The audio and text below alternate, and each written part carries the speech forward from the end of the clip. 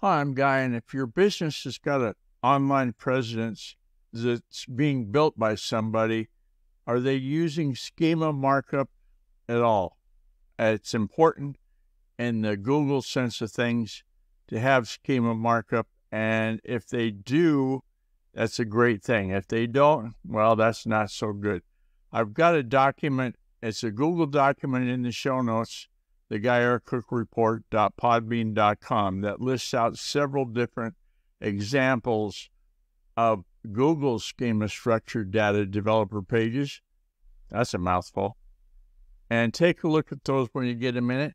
Hey, to contact me, use the secure contact form on guyrcook.com. If you like this episode on YouTube, and give it a thumbs up on youtube.com and click the bell to subscribe to future episodes. It's a wrap.